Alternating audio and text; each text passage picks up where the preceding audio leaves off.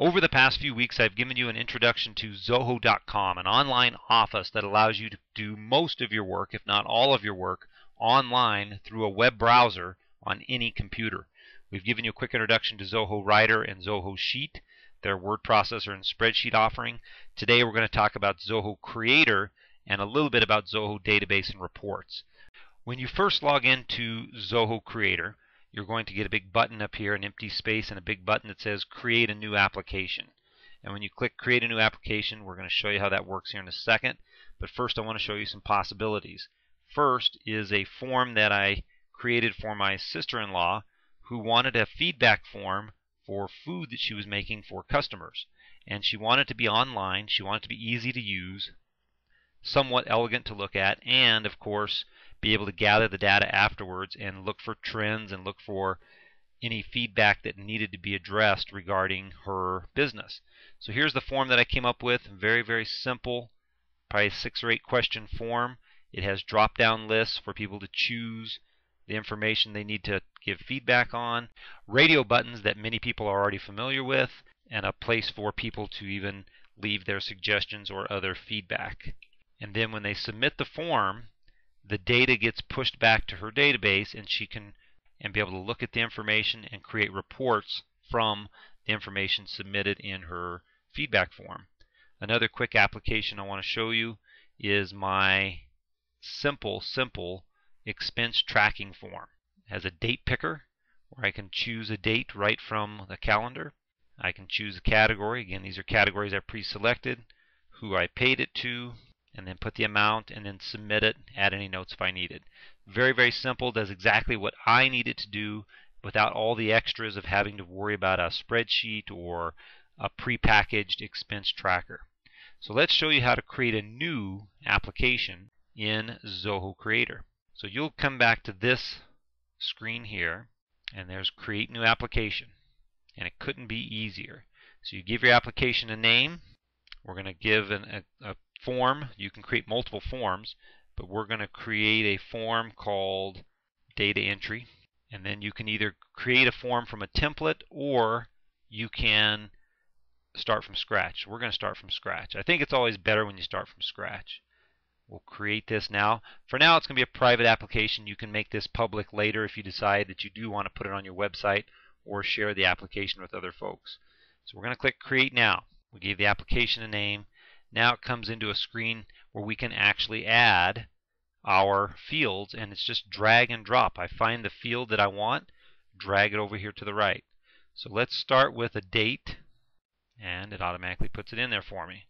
And then we're going to do a single line here. And that's going to be first name. And I'm going to drag another single line, but I'll put it right next to it. And we're going to put last name membership number. We'll just put a number in there so you can see how this works. And in this one, we're going to click Options. And under Options, we're going to say this is a required field, and we do not want any duplicate entries. We want, we want the computer, we want the database to be able to follow that there is no duplicate entries because if we're assigning a unique number, it cannot have duplicates, and we want that to be required. So we'll click Done. The drop-down field makes it really nice for people who want to have choices in their forms to be able to make them readily available to people who fill the form out. So we're going to call this one member type. And now we're just going to delete the options that are there. And we're going to put beginner, intermediate, advanced. And click done. We're going to go back to the date join to make a couple changes. You notice when I move my mouse over the field, it gets a little different color and a dotted line and a pencil off to the left. That allows me to edit the field. And we're going to add a couple more things in here. We're going to make that this is also a required field. And you notice that there's asterisks next to the fields that have requirements. Now we're going to go back to our drop-down list also. We're going to edit that field. And we're going to put that the initial value is beginner. So we'll click done. And you can see beginner is there. Alright, so we are finished creating a basic form. Again, there's lots of different tools you can use, and you can create your form to do just about anything you want it to do. We're going to click Access this application. And now there, just in a few moments, we have a form. So we have our date picker. So we'll just say the 18th. We'll put my name in there. I'm going to skip member number so you can see what happens. You can see that the beginner type, or beginner is the member type here. And again, I can choose and select which one I want, but since I told it the beginner is the default, it put it there. And then I'm going to submit it. But now watch what happens. It says, oh, won't let you submit it. You need to enter a value for the member number. So I'm just going to put a value in there, submit it. It says data has added successfully, and then I can add my next member. So it makes it extremely simple to enter in data. And then when I go to the data entry view over here, I will get a list of people that are in my database. By switching to the data entry view, which is a default view in any of the Zoho databases or the Zoho Creator databases, you can filter your data and show things such as by date. You can uh, sort out, just show me all the beginners, show me all the advanced folks, and you can also export your data to a number of different formats spreadsheet format, PDF document, generic CSV. So let's go back real quickly to the Zoho website and I'm going to show you one other option that they just added last year called Zoho Database and Reports.